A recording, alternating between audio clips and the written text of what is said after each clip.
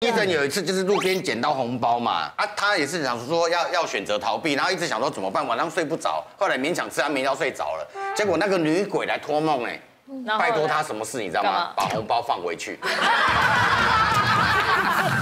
因为那个灵魂是思想啊。张玲，你们家有这个问题吗？我我觉有政治立场不同的问题吗？会，就是会暗示。我觉得爸爸会暗示。那你会照他的暗示吗？我们就说，我我就是像那个维恩姐讲的，我说，嗯，我们就是会跟着你投，但是进去然后就盖别的这样。能敷衍就敷衍啊，进了那个布帘里面，那就是你的世界嘛。你的世界，对啊。对那个那个笔盖有没有那边弄呢？嘿嘿，你叫我投谁？我偏不。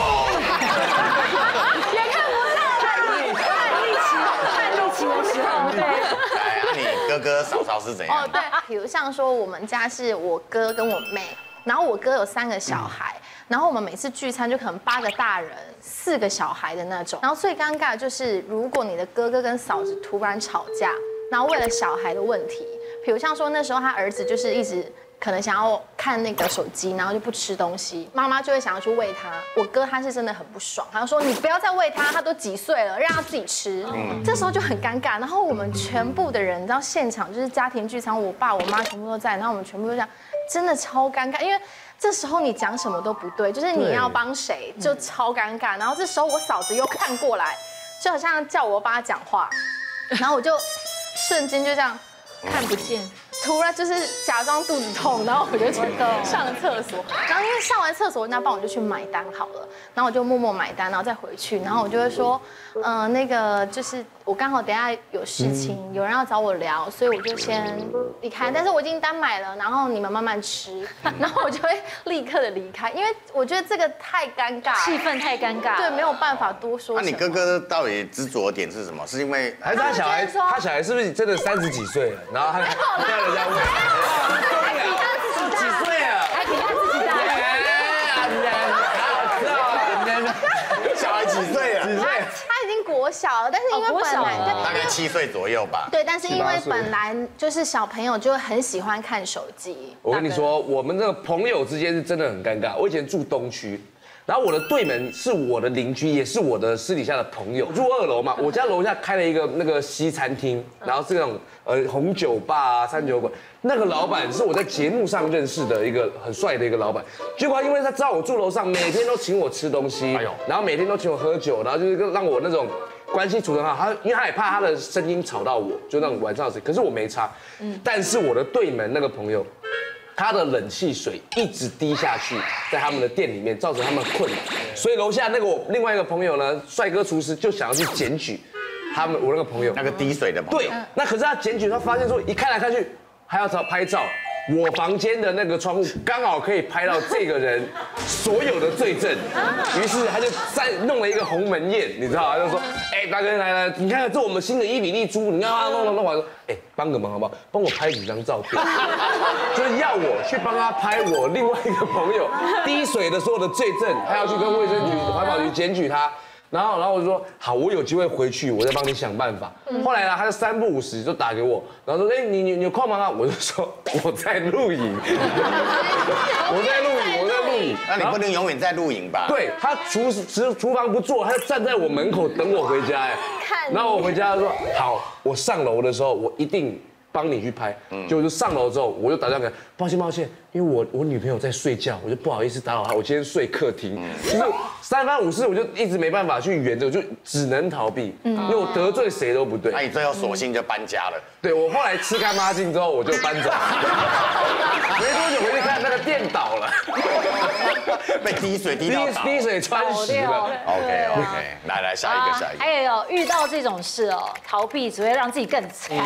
真的逃避什么事让你越来越惨？之前有一个蛮好的朋友啊，在意大利啊，这个朋友很想要学英文，然后他知道我是我们城市英文最强的的那个人啊、你们城市你英文最强，maybe，Maybe 哎反正那个时候就是英文蛮好的，那我就打印他说好。后来没多久以后，我发现我每天都会收到很多很多简讯，都是在问我一些英文的单字啊啊。他问我单字，他问你单词等我单字啊，我就跟他说，呃，我一开始会回，后来我就跟他说说，嗯。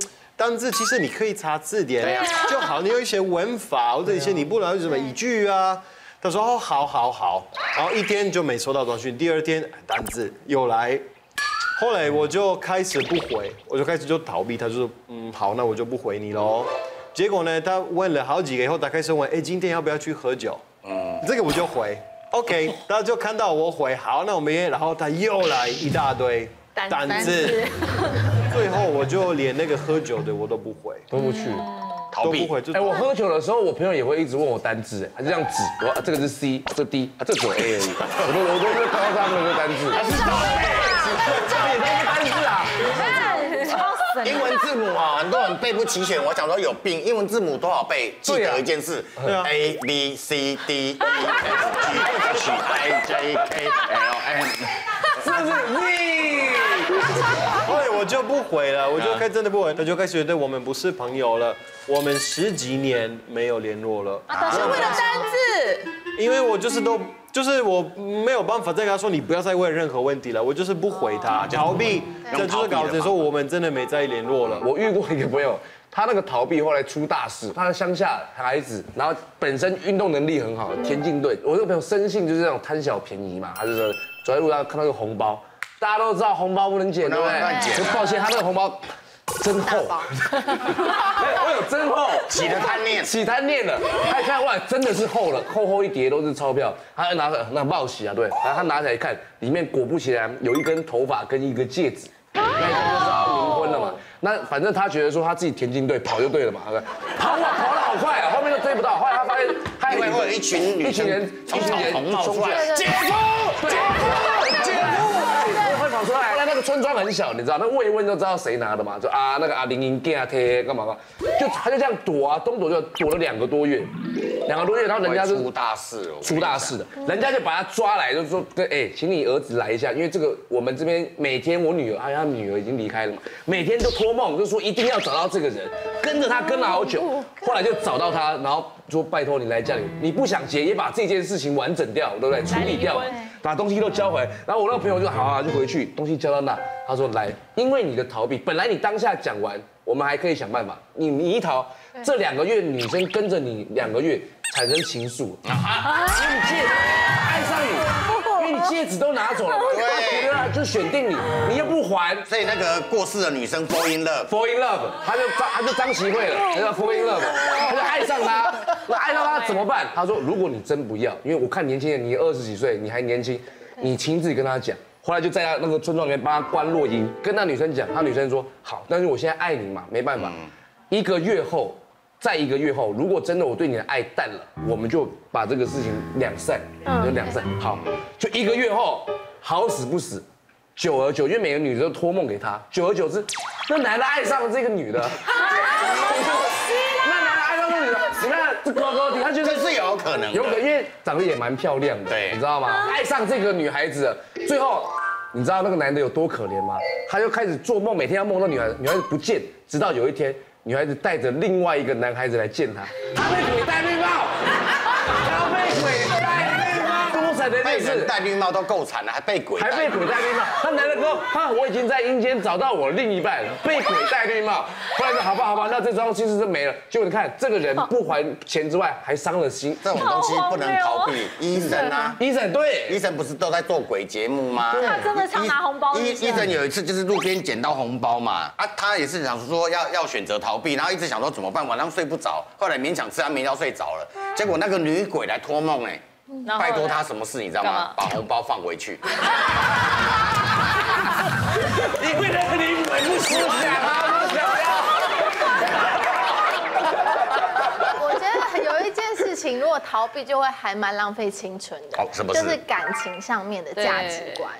因为我之前有一个在一起好几年的男朋友，然后我们平常其实有一些小事的价值观就已经有落差了。但是我想说，没关系，我们可以一起努力。比如像说，我是一个很喜欢吃。吃牛排、喝红酒的人，那可能我一个月就想要一天去这种餐厅吃饭，然后喝红酒。然后他就说你这样很浪费耶，他就觉得说你为什么要花这个钱？那比如像说我们就是偶尔就会想要出国一次，然后犒赏自己。他觉得那你干嘛要出国花这个钱呢？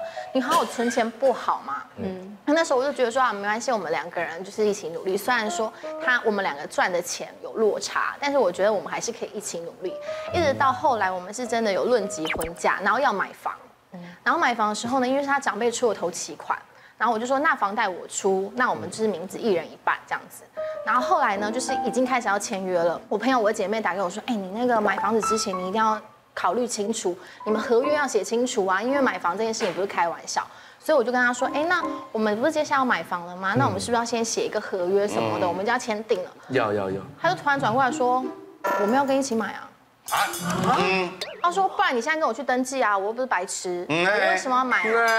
我为什么要买？跟你一人一半？嗯，怎么这样？然后他还说，你不觉得你这样很现实吗？我当下真的超傻眼呢，就是他讲了一个，我真的是傻眼。然后我说，你再说一次。嗯，然后他说，那不然我们现在，你先登记啊。五次。说五次。我们讲不清楚吗？你听不清楚吗？要不要录进去？还是我录起来？怎么样？